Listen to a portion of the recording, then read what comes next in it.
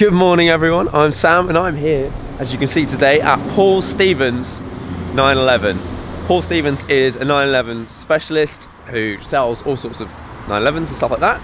And then they also make their own sort of backdated 911 and they sort of do custom work on cars for people that want to modify their Porsches a little bit. So let's go inside and have a look.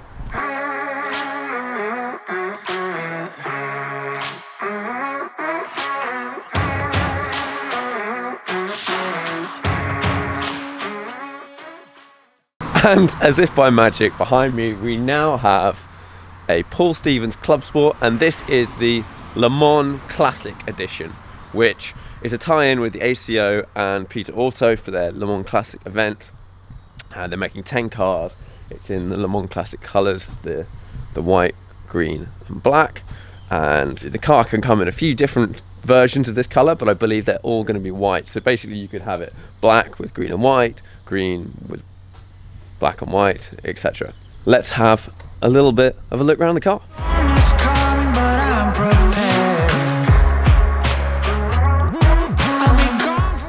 From here, it sort of just looks like an old 911, but as with all of these sorts of things, it's all about the details and Paul, I've sort of had a, was having a chat with him earlier.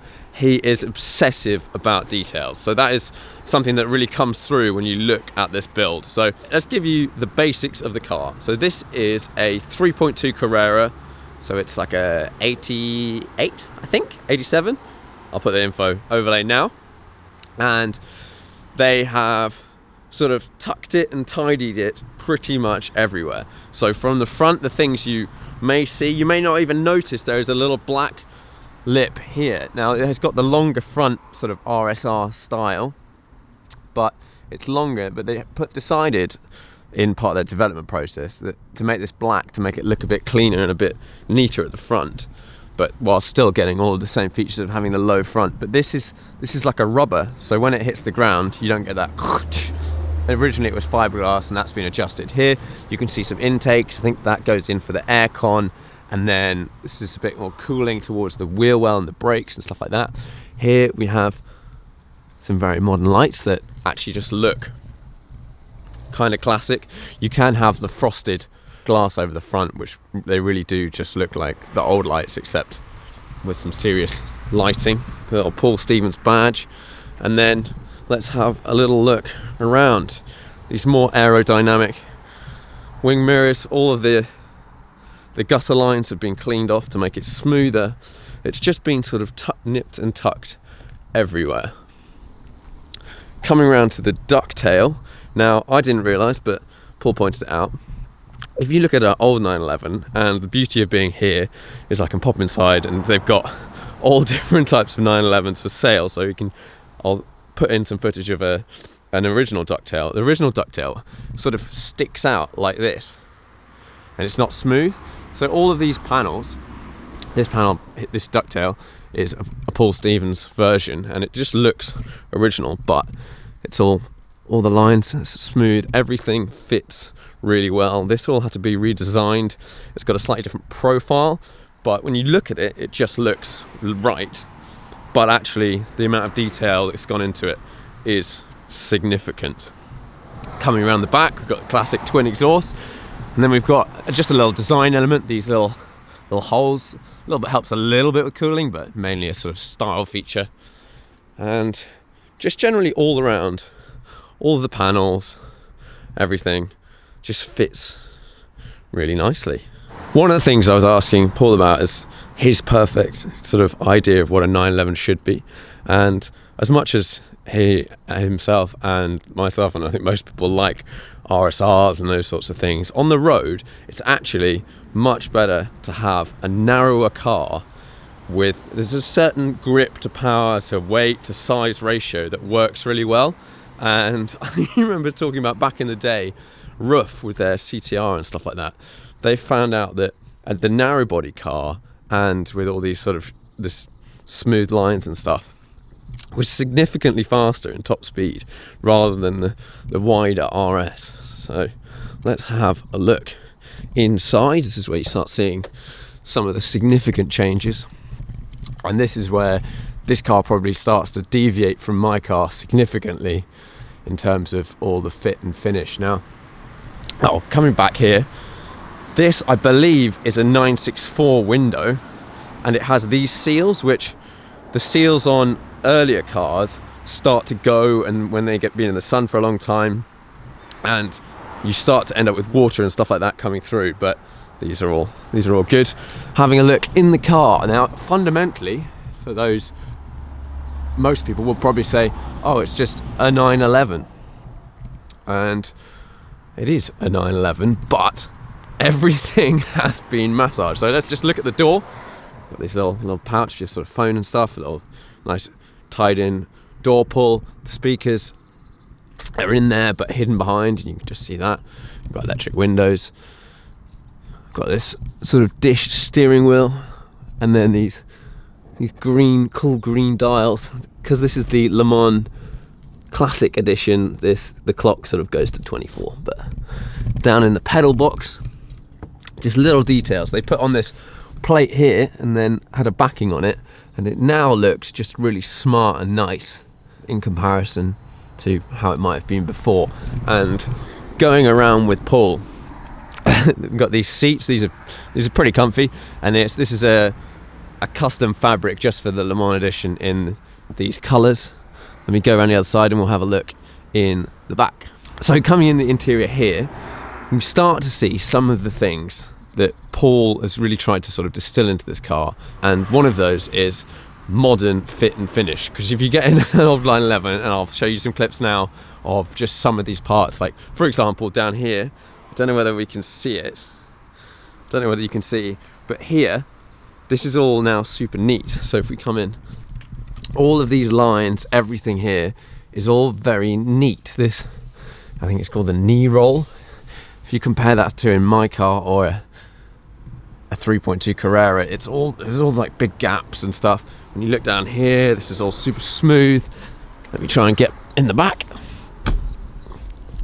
When we look in the back now everything in the interior is custom. If you just look at all these little fit lines this whole thing is completely different to a standard 911 i'm to come in and look back here. We've got a little little pocket and then this is the touring version of this car.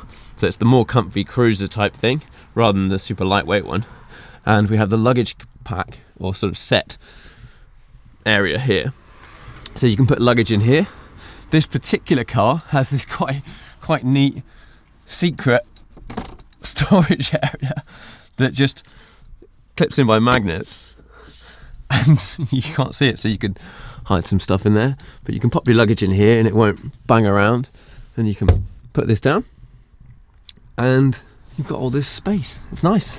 I would say the biggest difference between this car and my back date or, or an original from the era is the fit and finish of the interior. It is really feels really nice in here here we have these green seatbelts. I love non-standard color seatbelts. They're pretty nice. We've got a bluetooth audio and all that sort of stuff. Let me grab my my phone one second. The option they've gone with here is you can have a little magnetic case on your phone. Your phone will stick here and then you can use Waze and all that sort of stuff. Will connect with the stereo and you just put a little magnet magnetic case on it and it will stay there. Sort of a simple solution but quite effective because your phone's going to change in size and all that sort of stuff over the years and it will still connect and you don't need to have a crazy setup. Otherwise this little button here is aircon. I've told it's it's pretty effective. I'm actually having the same system fitted to my backdate but I didn't know that before before I was coming here. Here we've got all these are little changes. These are actually aluminium rather than the plastic just all these little knobs and stuff. Right let's have a look in the front. You've got to pull the bonnet latch like usual in a 911 You've got the little heating heater right and left. This car has electronic fuel injection so you don't have the the third lever to do the throttle. It just turns on the key. Okay let's open the bonnet. Now this is a customer's car that is being worked on at the moment and because of that they've removed the bonnet strut so I'm just gonna hold it open with my head. Now, I'm gonna try and, I'm gonna go inside in a minute and show you what the interior of the bonnet of a classic 911 looks like, because this is very, very, very neat. Normally it's just a bit of carpet. And then all these little details. We've got the, the fabric and the Paul Stephens logo. And then, look at this, this pops open. I believe that just goes down there. And then we have the toolkit, that's all very nice. And we have the triangle, and then I believe one of these pops open. And then under there we've got stuff for your tires and things like that which is just actually just pretty neat isn't it?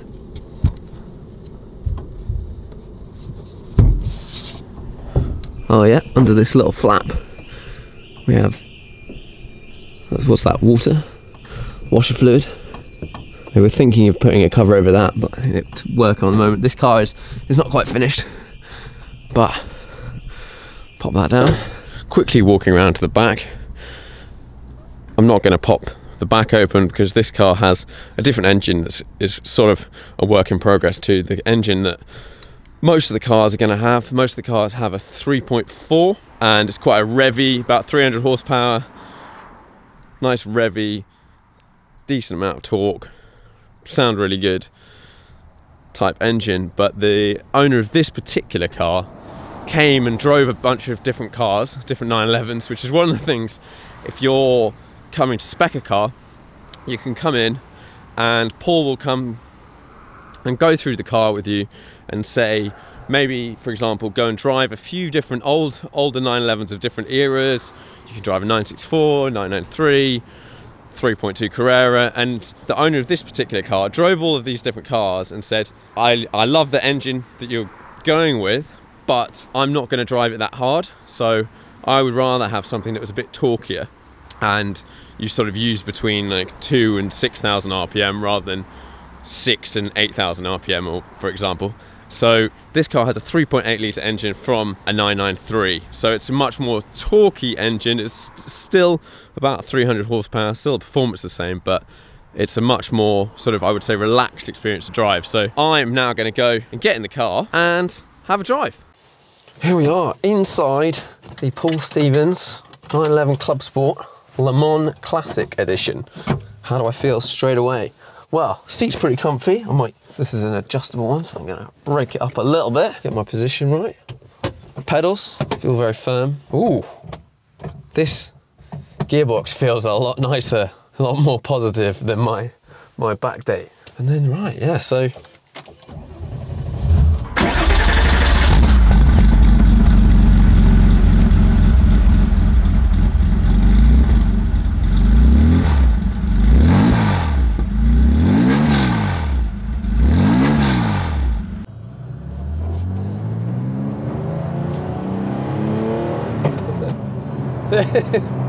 the first thing I've noticed, I've looked at the speedo and it goes all the way up to 180 and like 30, 40 is basically just like this tiny little bit at the bottom.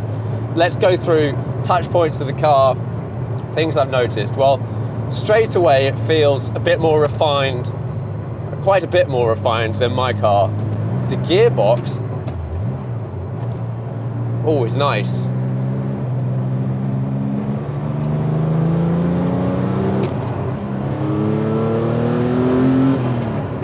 Things I'm noticing about the interior. I don't I don't have a lot to compare this to in terms of like a I haven't driven a 73S or something like that or even a, a 3.2 Carrera so I can only compare this to my back date and immediately the powertrain feels different straight away. Just the way the pedals actually, the setup, it feels it's, it's got a lot more sort of punch straight away. It feels like a really torquey engine in this car.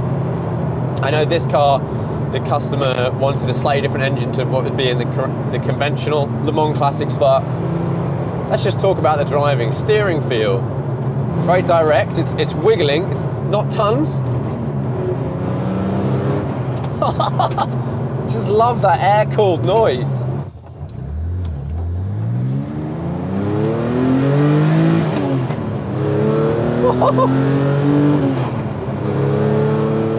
Now this this is a customer car, so I'm not gonna I'm not gonna push it. I'm just gonna sort of get a feeling for how it drives.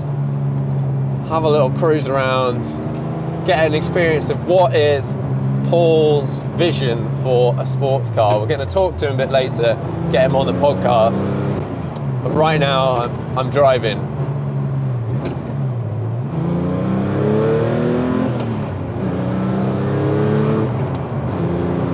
Feel like you could haul, you could haul ass in this car. S- slowly getting used to the powertrain. It wants to be, it wants to be revved. So different to all these modern cars these days. You get in a new GT3 and this, this feels like you could go pretty quick. Obviously, it's not the same as having 500 horsepower, but this car weighs, it's like 1100 kilos, something like that. It's, it depends on spec with whether it's got aircon or the lightweight version. Uh, the lightweight they got down quite low, I think under under a ton, but this is like 1100-ish, maybe a little bit more. You feel it. It feels like it's a small car, but I'm, I'm getting nicely warmed by the heater. We've got aircon, this little button down here if you need aircon. What else do we notice? Looking around, I like this, the way the luggage is in the back. If you, that would definitely stop stuff being chucked around if you chuck it around there. All in all, everything's just been massaged a little bit, to, and you still get that old 911 experience. It's still an old, older 911, and you get that noise. But a lot of it's changed, like the the engine with the direct injection and stuff over the carbs in my car mean you can just start it. You don't have to have any funny like press the throttle three times and all this sort of stuff. This car just starts when you want it to start. It goes when you want it to go, and I think something the joys of having a car like this is if you're maybe you're into modern cars and you like the idea of an older car, but you're not really ready for old cars, if that makes sense. Like you're not ready for the full experience of the pluses and the minuses of having and actually running a classic car. This has had a lot of stuff done to it. All the, you know, everything's been treated so it's not going to rust away straight away. The gearbox doesn't feel like the gearbox in my car is the is the previous generation, not the G50. I think it's is it the 105. Um, I'm having a bit of a, a mind blank, but this feels really direct and actually sort of makes me think that maybe that's a change I would do to my car. But it feels super direct. Let's just get up to fifth. It's not super short like a modern car, but it's also very. It's quite a nice car. This I like it. I like it. I feel sorry because I've come on a day that's been it's been raining, and this car's going to need a good old wash when I've hand it back. But I'm enjoying it so far, and all the all the touch points. Like the steering wheel is really nice. Actually, I like the the leather's really soft and just feels quite good, and it's it's got a bit of an angle on it, so it comes closer to you. How fast does it feel? Well, in gear, it's punchy. It's not it's not crazy modern supercar fast, but I think 0 to 60 is four and a half seconds, something like that. Top speed, I think it's 160. Where, where are you going to go 160 miles an hour? But it's actually a really usable speed that you can ring out the gears without ending up going silly fast. And this is a car for backcountry roads. I think it would it would do quite well around a track, and it's got it's got a lot of grip. But I think if you're used to modern stuff, you should come and drive. Well, you should come and drive any go and drive any old stuff, but come and drive something like this, and it's it's a, it's a nice blend of the two. I love I love that air cooled sound. There's nothing. It's just so different to modern cars. It's just a different, that organic sort of rushy noise you get.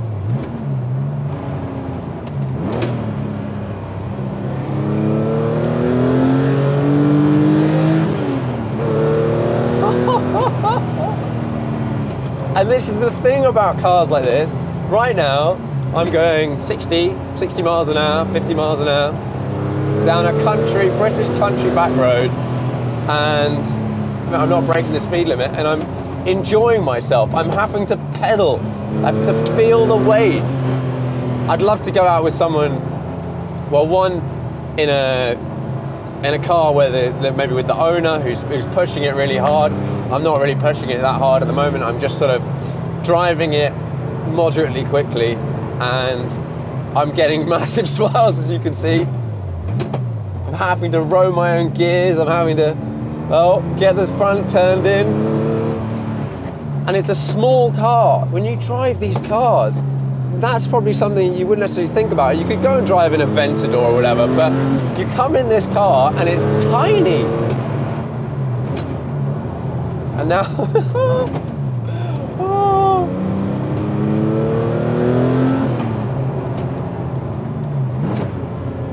this is a good of road. This. Thank you, guys. Thank you. How do I sum up this Paul Stephens? Club Sport, and then the Le Mans Classic Edition. Well, it's it's a very well sorted back date. It's but like when you talk to Paul, and we're going to have him on the podcast, so have a listen. The his obsessiveness to detail and getting the fit and finish correct is is pretty great, and that when you I, I think with his cars, it sums it up really. Is they don't shout, they're not massive. This one is a bit more so than the the other ones, the classic touring, but they don't shout like I'm a let's say a singer, for example. You, you know a singer's a singer straight away. They're a bit more refined, like in terms of body style, shape. They're not as wide, and it's about the small details of just all of the things. And also someone who just who wants like a 911, but they want a really well done, sorted, one that will start every day. I would, I would love this ignition system on my car. When we were in Sweden driving it in the snow and stuff, it would have been quite nice. But overall, it's really good. It's really good. Top work. Now time to drive a little bit more.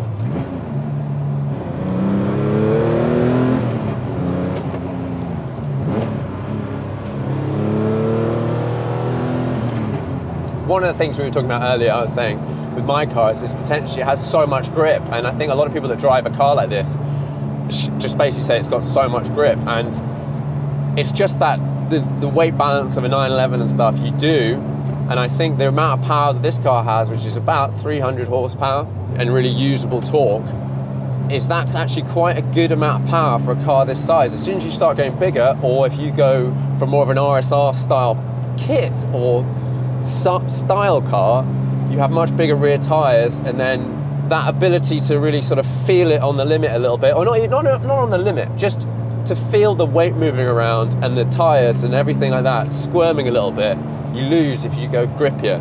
And I think we're in a good sweet spot with this amount of power for the roads that we drive on day to day. If this was a fun car for the weekend or you could drive it every day if you wanted. There's no real reason why not.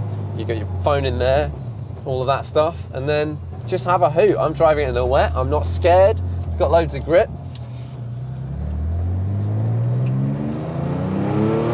Oh, I love Porsches. Oh, I love Porsches.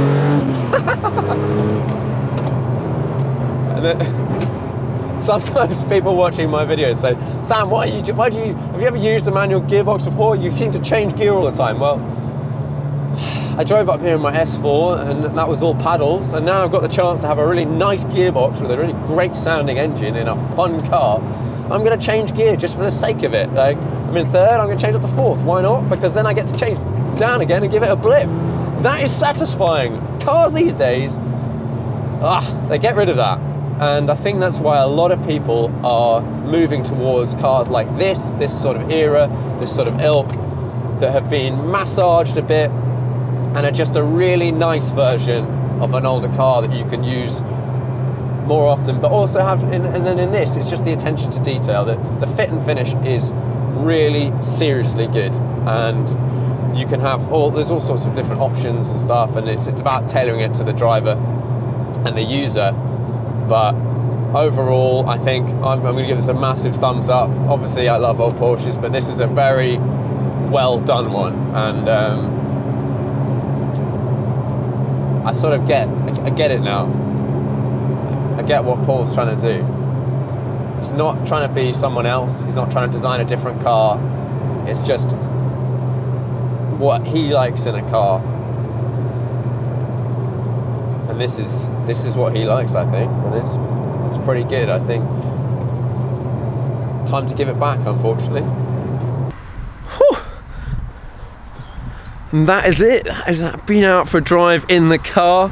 What was it like? What are my thoughts? Oh, I just love classic old 911s and particularly backdated 911s because they just, the things you use all the time, like stereo and blah, blah, blah, and all that sort of stuff, are just a better.